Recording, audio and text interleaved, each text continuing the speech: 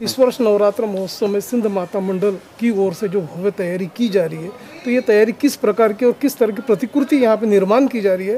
प्रकाश तोतवानी जी, आप बताइए। प्रतिवर्ष अनुसार हमारे मंडल की ओर से जो जो भारतवर्ष में प्रतिष्ठित धाम बने हुए और वो हज़ार पाँच सौ, पंद्रह सौ, दो हज़ार किलोमीटर दूरी पर बने हुए, उन धामों की प्रतिकृति छोटे से स्वरूप में यहाँ पर बनाकर नागपुर नगरी के माता भक्तों को दर्शन कराया जाता है। इस वर्ष जो है ये सप्तश्रृंगी माता के पहाड़ है सप्तश्रृंगी माता जी के दर्शन होंगे। तो ये सर जो आयोजन जो हो रहा है इसका उद्घाटन कब और किस वक्त होगा हाँ, कल पंद्रह कल पंद्रह तारीख को माननीय पूर्व महापौर अनिल जी सोले के हस्ते शाम को छः बजे इसका इनाग्रेशन हो जाएगा। उद्घाटन के बाद में अखंड ज्योत जलेंगी। अखंड ज्योत के बाद में कल से ही माता भक्तों के लिए यह शुरू कर दिया जाएगा दर्शन हेतु।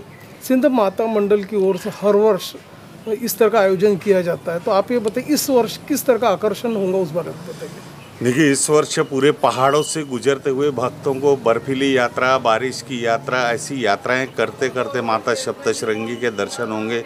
सप्तश्रृंगी के दर्शन के उपरांत भव्य और दिव्य एक अखंड ज्योत जो भक्तगण यहाँ पर जलाते हैं, करीब सौ सवा सौ अखंड ज्योत के दर्शन होंगे। अखंड ज्योत के दर्शन के बाद जगत जननी खामला वाली माता जी के दर्शन होंगे। खामला वाली माता जी के दर्शन के उपरांत एक छोटा सा हमने पहाड़ी नुमा बनाया है जहाँ पर देवों के देव महादेव रहेंगे। महादेव जी जटाओं से जल गिरता हुआ दिखेगा। ऐसा लोगों के लिए दर्शनार्थ हेतु ओवरऑल बना रहे और फिर कुछ खान पान के स्टॉल रहेंगे। लोग थक हार के आते हैं तो फिर खान खान पान के स्टॉल उनके लिए बनाए जा रहे हैं। और मंडल की ओर से चप्पल रखने की निशुल्क व्यवस्था हमारी ओर से की जा रही है और वो व्यवस्थित रहती है, एक थैला रहता है। वो थैले में पूरे परिवार की चप्पल डालते हैं, कार्यकर्ता उन चप्पलों पे नंबर देके टोकन दे देते हैं। भक्तगण जब दर्शन करके आते हैं, वो टोकन देंगे, अपना थैला उठाएँगे और अपनी चप्पलें पहनेंगे। निःशुल्क पीने के पानी की व्यवस्था की जा रही है, निःशुल्क शौचालय है यहाँ पर। जो जो पॉसिबल है भक्तों के लिए हम निःशुल्क व्यवस्थाएँ कर रहे हैं। अष्टमी के दिन रविवार को 22 तारीख को महाप्रसाद होगा सुबह हवन यज्ञ होगा और अष्टमी से लेकर दसवीं तक के यानी तीन दिन लगातार महाप्रसाद रहेगा। सिंध माता मंडल की ओर से जो भव्य दिव्य जो अपन कार्यक्रम हर वर्ष करते हैं आप ये बताइए कि हर वर्ष भक्तों का तांता बढ़ते जा रहा है तो आप ये बताइए सुरक्षा की दृष्टि से किस तरह की व्यवस्था की गई है? बहुत अच्छा सवाल किया सुरक्षा की दृष्टि से हमने एक दस सीसीटीवी कैमरे लगाए हैं साठ कार्यकर्ता स्वयंसेवक रहेंगे हमारे मंडल के और ऊपर से दस होमगार्ड लगाए गए हैं। ऐसे सारी चीज़ों का ध्यान रखा जा रहा है, विशेष करके महिलाओं की तरफ़ माता बहनों की तरफ़।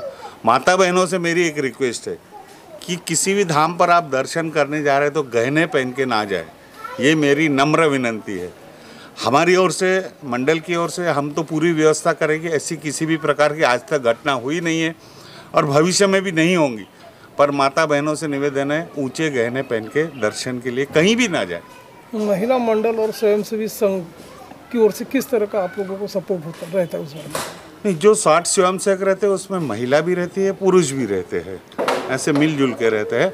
और किसी भी भक्त को किसी प्रकार की तकलीफ़ ना हो वो स्वयंसेवक ध्यान देते हैं। और इसके अलावा आप लोग सांस्कृतिक कार्यक्रम का भी आयोजन करते हैं तो आप ये बताइए इस बार कोई बच्चों के लिए स्पर्धा प्रतियोगिता किस तरह कुछ है क्या एक कंपटीशन रंगोली की रखी है। और इस बार वो स्पर्धाएँ जो बड़ी बड़ी रखते थे, वो नहीं रखी गई है, क्योंकि कोरोना काल के बाद धीरे धीरे हमको भी संवरने का समय मिल रहा है।